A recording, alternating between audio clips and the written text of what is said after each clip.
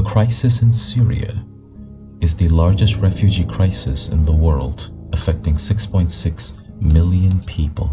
However, many reports suggest that within the next 20 years, more than 10 million people from Bangladesh's coastal region will be forced to migrate.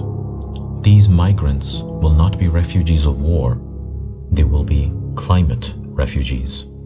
আমাদের যে নদী ভেঙে গেছে ওই নদীর অব্দাটা যদি বেঁধে দিবা হয় তাহলে আমাদের ভিতরে পানি না ঢুকলি আমরা বাচ্চা কাচ্চা নিয়ে একটু সুস্থভাবে ঘর সংসার করতে পারব বা খাতে যেতে পারব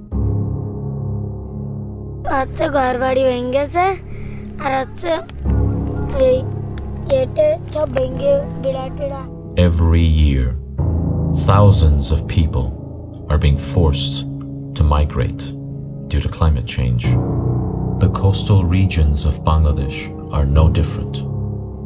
In particular, communities in the southwest coastal regions of Bangladesh are the worst sufferers of this crisis.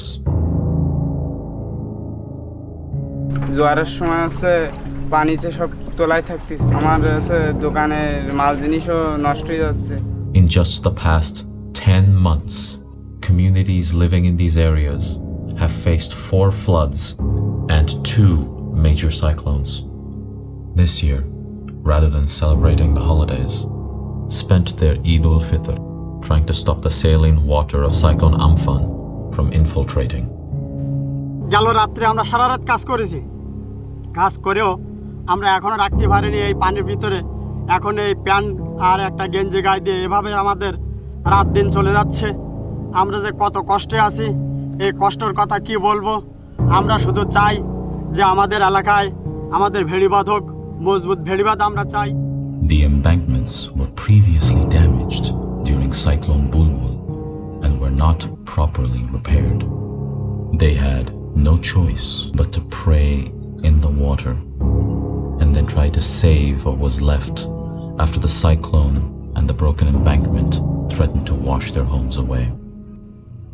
বাম পাশে কপতক্ষ নদী ডাইন পাশে খলফটিয়া নদী এইটার সংযোগ আমার যে বাঁধ ভেঙে এখন এমন একটি অবস্থা হয়ে গেছে মনে হচ্ছে যে সাগরের কোনো একটু টিলা জায়গায় উঁচু জায়গায় আমরা Within just 90 days of Cyclone Amphan, on the 21st of August of 2020, the temporary embankments were breached once again.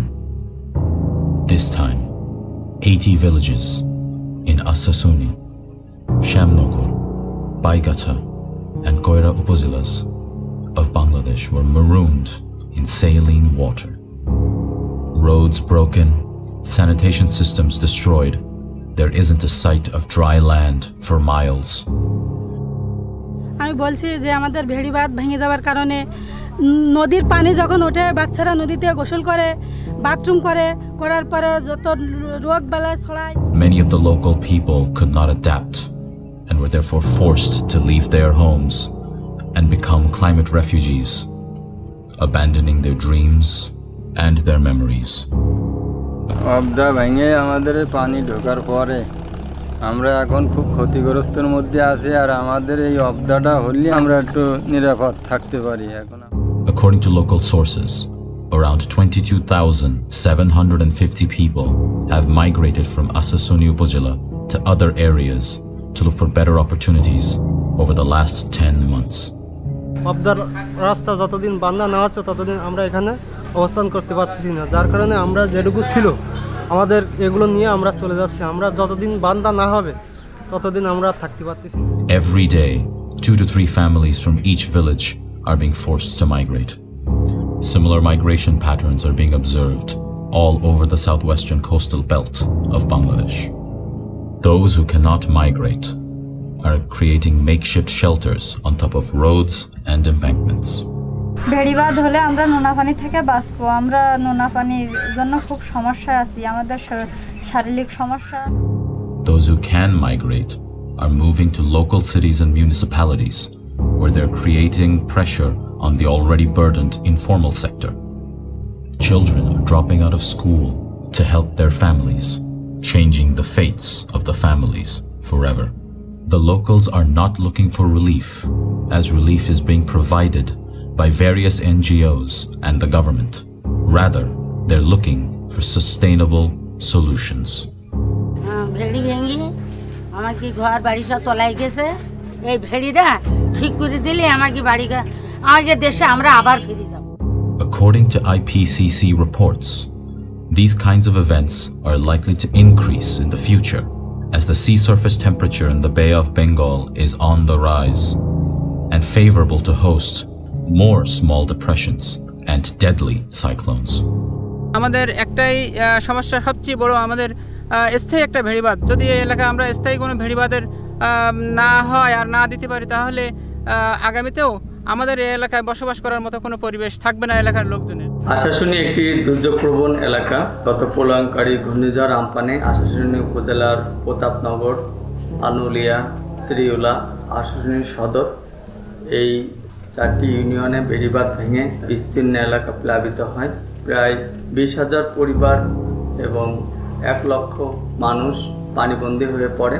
টেকসই বেড়িবাঁধ নির্মাণ সম্ভব হলে এই এলাকার মানুষের যে চিরায়ত দুর্যোগপ্রবণ এক একটা অবস্থা রয়েছে বারবার বেড়িবাঁধ ভেঙে প্লাবিত হয় সেই সমস্যার হাত থেকে তারা রক্ষা করবে Globally, we are not doing enough to keep our greenhouse gas emissions to our NDCs.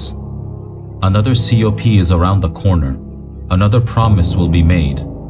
But yet these people will still lose their land and their homes forever.